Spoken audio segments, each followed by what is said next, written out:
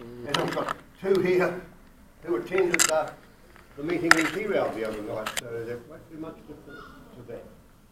And uh, so, Bruce and Alan, you'll be getting the, the were you at Tirau? I watched it on the YouTube. Thanks. And by the way, I want to thank you, Neil, for making those videos available because people who aren't there can't make it for whatever reason can see what went on. Oh, well, And- so, and- absolutely. and well, you- you've seen, you've seen it also. Alan Blair, you'll be the only one that's actually seen the, the presentation for you, unless you've watched it on YouTube. So can we skip the presentation and Oh, get to the Tracy, talk? haven't you watched it? Oh, it. oh, Well, just it's on YouTube. We'll give you the address. You I can watch it later. But Trace, we welcome you as a ratepayer, not as the editor of the paper, and that makes life feel better.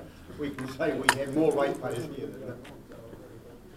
That, this is part of the representation review that we have to do at least every six years. Um, And in the six years that have taken place over the last six years, there have been changes in terms of local government act that we now have to, instead of doing the four well-beings, now we have to do things efficiently, effective, efficiently, effectively, and at the lowest cost. And as you well know, that council has been, has made some pretty hard decisions because we're trying to keep the rates low, so we've closed Bernardi Street toilets, we're closing the, um, the Tirau i-SITE, we've looked at the, closing the Tirau library. And that same sort of scrutiny that has taken place as we do that now has to go into governance. The only place that really has come out with any cost of governance is the Bay of Plenty, and although it's difficult to compare apples and get everything right, the figure they actually came out with for governance in the Bay of Plenty was forty-three million dollars. In the Bay of, in the Waikato, if you take all our uh, councils, we've actually got hundred and fifteen councillors to look after four hundred and thirty thousand people. So, to put the mayors onto that, we've actually got more councillors and mayors in the, in the Waikato region than we have MPs. And we keep saying we've got too many MPs. And of course, we're got, realising at four hundred and thirty thousand, Auckland has, point two million, and so what do we do? So we have to give governance the same sort of scrutiny that we have given other expenditure. And so that's what council has done, debated and gone on to see, hey, where can we go in terms of governance? What is the most cost-effective way of governance? What's the most efficient way to ensure that the community has a voice? And so this means this process we have to go through. Interestingly, we've already started our uh, representation review because some time ago, not too many weeks ago, council actually made the decision not to have Maori seats. So that actual decision went out, that was passed, it was open for public consultation, and we got minimal response into that. You'll have noticed also that that same sort of idea has caused a lot of consternation in Rotorua, ending up with marches and uh, uh, I think 200 people submitting to the Rotorua District City Council over the last two or three days. And you will have also noticed in New Plymouth the sort of kerfuffle that has gone on there.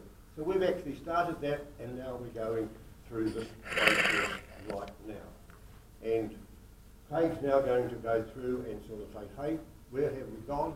Why and what are we doing it?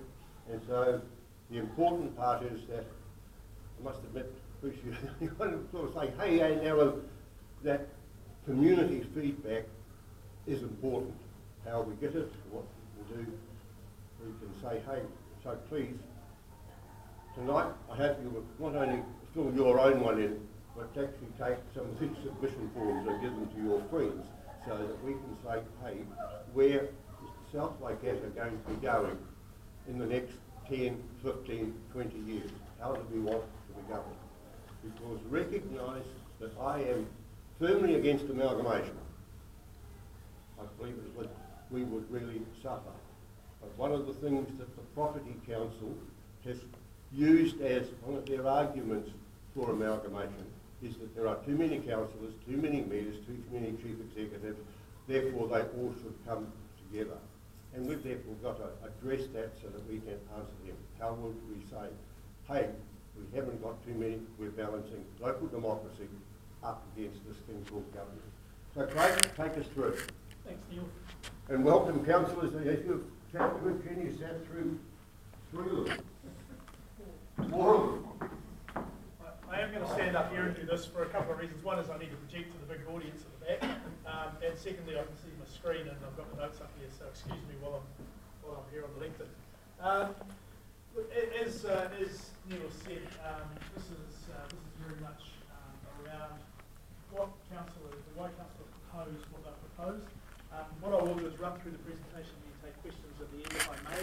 Um, just want to introduce uh, Richard Fisk, who's our legal manager, um, council, uh, Neil obviously, councillor Jeff Gash, Deputy Mayor Jenny Shattock, and councillor Thomas Lee. Uh, appreciate you guys turning out.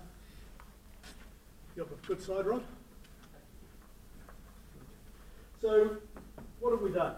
And, well, what has council done? I'm, I'm here to explain council's um, rationale, um, and as I will take questions at the end of it. So why do a representation review? Look, it is best practice, and Neil's already identified that through the long-term plan uh, process, uh, council's always considering where they can better spend their money, where they can get better efficiencies, better quality level of service for our ratepayers without a, a big rates imposition. Uh, at the same time, we do an internal uh, review um, to see if we're aligning with the long-term plan um, in terms of staff and, and the way we structure ourselves as well. So it, it's also good practice, and therefore, you know, the, the roll-on is let's look at the representation. How many councillors have we got? How they represent, how, where they represent um, their, their constituents, and so on. We do have to do this every uh, six years regardless. It is a, a, a legal requirement that we do this as a minimum every six years. So we're now at that point. In terms of the, uh, the, the current, the, the status quo, the way that we went to, uh, to elections last time round, we had 10 councillors. We had three wards, Tokoroa, Putaruru and Tirau, and of course the one community board in, uh, sorry, uh, yeah, three, yeah, three wards, Tokoroa, Putaruru, Tirau, and the one community board in Tirau. So that's the status quo, that's where we sit currently. Council considered all of that and uh, have decided to uh, propose some changes, and again, it is a proposal, so you're open to, we're open to, the council's open to submissions, want to hear everyone's thoughts.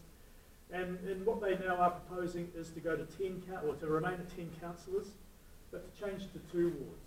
So, again, looking at the boundary line there, the, uh, the boundary line doesn't change, and I'll come back to in a bit more detail about this, but really we're looking now at a, at a north and south ward, uh, and also to do away with the Tirau Community Board. So if we look at each those individual points, number of uh, number of councillors to start with. So council have determined or proposing to stay with the status quo, and they did consider going down to eight. Um, and part of the, the logic around uh, reducing eight or to eight, and when they looked at that number, they thought, well, you know, is that going to be too great a workload on the councillors that, uh, that we have at the table? Uh, you know, I can honestly say that the councillors that we uh, we have um, don't get paid or remunerated anywhere near as well as what they should do for the amount of time they put in. They've, had 68 days um, of council since they uh, since this term started. That's council alone. It's uh, not including workshops and so on. So it's a huge commitment, and, uh, and and therefore you know would eight we you know, run them too thin. Would it also mean that perhaps uh, the community couldn't get hold of their councillor in, uh, in a situation where they, they needed to if we only had eight? So that was another consideration.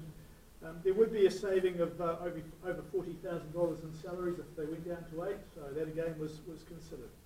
Um, and the other consideration around eight versus 10 is, uh, is that generally we tend to be quite well represented in, the, uh, in this district. And if you look at the documents on your table, on your seat, sorry, um, the representation proposal, there is a table there that shows the, uh, the number of constituents per councillor. And uh, as you'll see, we're actually quite low. You know, we sit fourth to bottom with 2,250 ratepayers per, um, per councillor on a representation basis.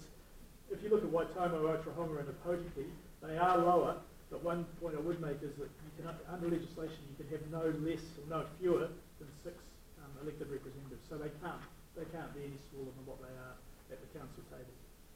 So th- those were the considerations. Um, and, and when they when they when council did look at all those issues, they determined that again because of the, uh, the tensions around workload, around uh, around all the other issues that I've just addressed, that they would remain with, uh, with ten councillors.